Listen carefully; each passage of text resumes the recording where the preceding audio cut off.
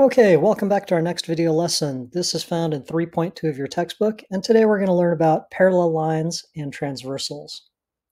So in the previous lesson, we learned what a transversal is. A transversal in this diagram is this blue line T, and it's a line that intersects two coplanar lines at two different points. When we have two lines cut by a transversal, we learn that there are four angle relationships that occur and we learned what they were. We learned what corresponding angles were, consecutive interiors, alternate interiors, and alternate exteriors. Remember we had this example where we were asked to name all of the angles that are corresponding, alternate interiors, alternate exteriors, and consecutive interiors. And so we were able to do that. Okay. Now we're going to take this lesson and we're going to just tweak one little thing and something really special happens. So if you look at this, these two yellow lines, okay, that are cut by the transversal, if we were to make these two yellow lines parallel, okay, so now these two yellow lines are parallel, and remember that the symbol for parallel in this diagram is this little arrowhead and this little arrowhead. That shows us that those two yellow lines are now parallel. When we make those two lines parallel, something really neat happens with these angle relationships. Okay, so we can still name all of the angle relationships. They're all still the same as they were in the past. Okay, but what happens is all of the corresponding angles are congruent. All the alternate interior angles are congruent. All the alternate exterior angles are congruent, and the consecutive interiors are supplementary. Okay, so for example, corresponding angles, we have 1 corresponds to 5. Those are now congruent. 2 corresponds with 6. Those are congruent. 3 and mm-hmm. 7, 4 and 8, those are all congruent. Okay. Alternate interior angles are also congruent. So 2 and 7, 4 and 5. Alternate exteriors, 1 and 8, 3 and 6. And then finally, consecutive interior angles. Remember, those are same side interior. So if you look at 4 and 7, do those look congruent? No. You can see that 4 is obtuse and 7 is not obtuse, it's acute. So those are not congruent, but consecutive interiors are supplementary, which means that their measures add up to 180 degrees. So here are the four theorems that summarize what we just learned.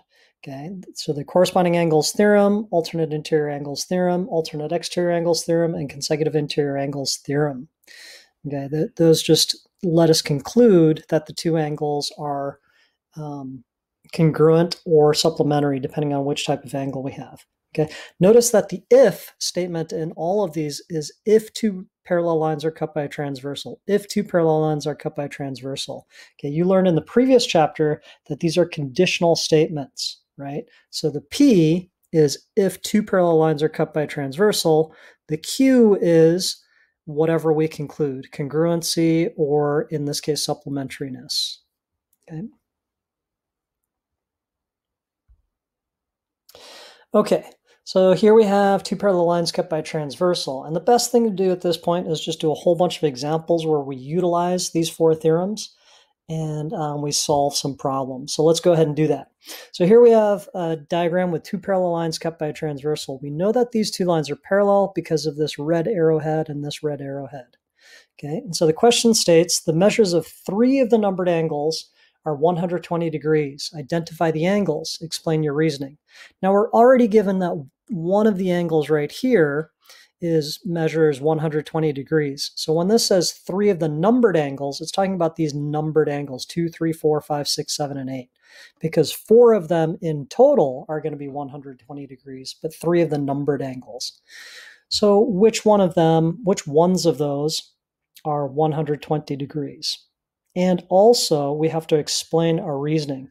So our answer has to have two parts. Has to identify the angle and also explain why or justify it, right? So by the alternate exterior angles theorem, we know that 120 degrees and 8, the measure of angle 8 and, and angle 8, those two are alternate exteriors. So we know that their um, angles are, those two angles are congruent, so their measures equal each other. So the measure of angle 8 is equal to 120 degrees. See if you can identify the other two. Okay, if you look at 5 and 8, 5 and 8 are vertical angles. And remember that we learned that vertical angles, no matter where we find them, vertical angles are always congruent.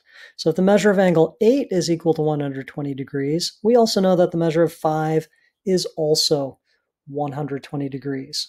Is there a different explanation that you could have used to get angle 5? Yeah, 120 degrees, this angle and angle 5 are sitting in corresponding positions. So you could have just used the corresponding angle theorem. Okay, and then what is the final angle that um, is also has a measure of 120 degrees? It's angle 4. Okay, these two are vertical angles. Okay, so we know that um, vertical angles are always congruent, so the measure of angle 4 is also equal to 120 degrees. Or what the author of the textbook used was AIA, alternate interior angles. Okay, the author recognized that angle 4 and angle 5 are alternate interior angles. Okay, and we have a situation where we have two parallel lines cut by transversal. So AIAs, alternate interiors, are congruent. So the measure of angle 4 is equal to 120 degrees. Okay, next example. The measures of three of the numbered angles now are 75 degrees. Find them and explain why. Okay, I'm going to give you a minute. Um, go ahead and um, pause the video and see if you can figure out what each one of those is.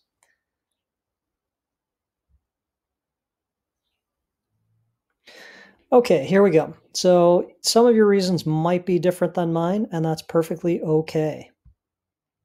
So I started by going with vertical angles. I went from 75 degrees to angle 2. We know that those are vertical, therefore they are congruent. Okay, and we know that congruent um, angles have the same measure. I then went to angle 6. Okay, and you can see that 2 and 6 are corresponding, so corresponding would have worked.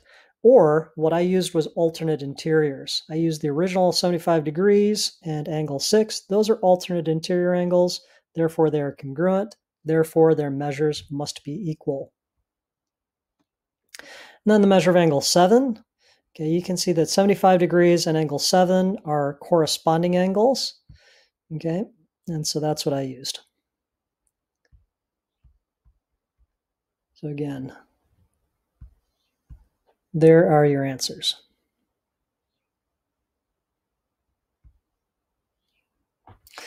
So now we're asked to find the value of x. So let's throw a little algebra in there. So now we have two parallel lines cut by a transversal. We're asked to find the value of x. Well, here's x right here. And then we have this measurement of this angle is given to us as 115 degrees. And the authors have given us a big sort of clue here. They've said, well, here's angle 4. So they're telling us use angle 4 to solve this problem somehow. Okay, and why do we need to use angle 4 or another angle? Well, that is because if you look at this angle that measures 115 degrees and this angle here, x plus 5, we don't have a name for that angle relationship. Okay, this is an exterior angle, this is an interior angle. We don't have a direct relationship. So we're going to link these two angles through a third angle. And in this case, we're using angle 4. We could have used any of the angles, but we decided to go ahead and use angle 4. So we know that angle 4 and this angle have to be congruent because they're vertical angles. Therefore, the measure of angle 4 equals 115 degrees.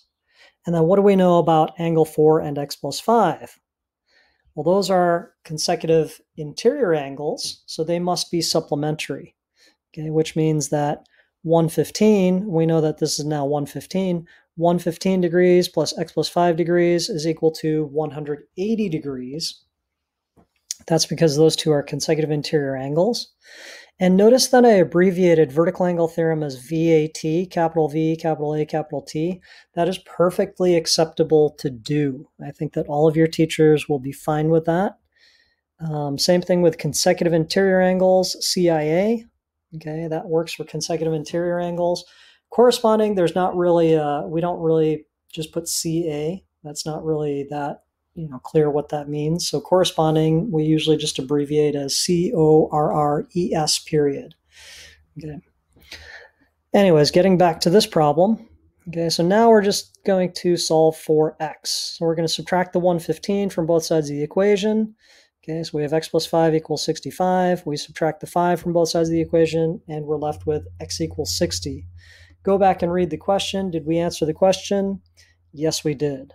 Okay, and it's always a good idea, although most of the geometry teachers are not going to require this unless we also probably teach algebra or algebra 2. Um, we're not going to require you to check this answer, but it's a good practice. I think your Algebra 1 teachers taught you always check your answers. So plug this back in um, 60 plus 5 does 60 plus 5, which is 65. Does 65 plus 115 equal 180? Yes, it does. Okay, so before we move on with the last couple examples, I want you to identify a pattern. And that's something that is um, you know, part of mathematics, part of really good mathematics is recognizing patterns. And um, you guys learned and studied inductive and deductive reasoning in the previous chapter. So I want you to look at what the pattern is. Okay.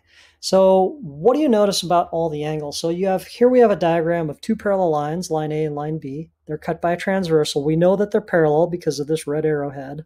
Okay. What is the pattern that emerges among all eight angles? Okay, well, I'll give you a clue if you haven't figured it out yet. Four of them are blank, and four of them are blank.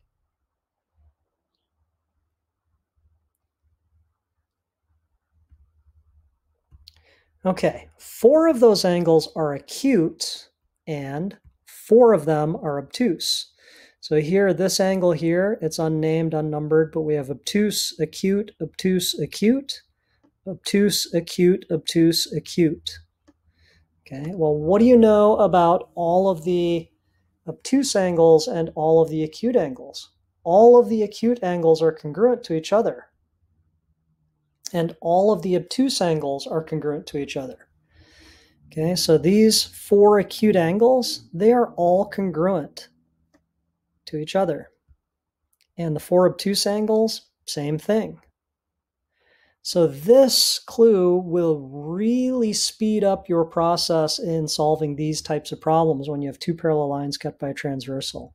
So let's use this for our next example. Okay, here's our next example. We have two parallel lines cut by transversal. Okay, we have 2x degrees and 120 degrees. We're asked to find the value of x. Now, we could link these two angles through a third angle because these two angles don't have a direct angle pair relationship name. We have an interior acute angle and an exterior obtuse angle.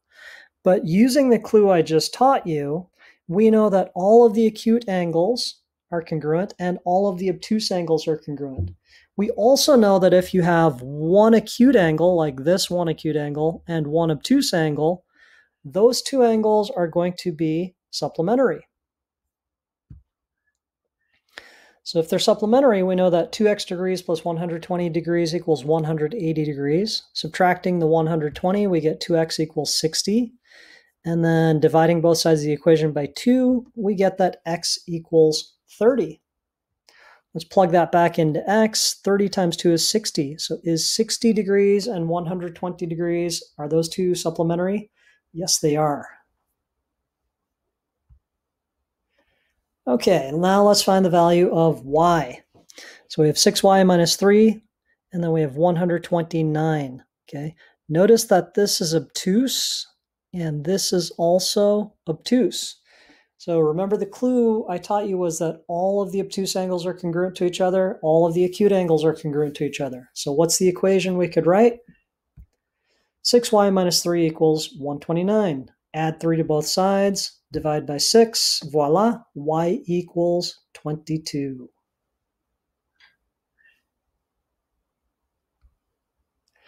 All right, guys, that's all we have for this lesson. Hope you enjoyed it, and uh, please enjoy your practice problems.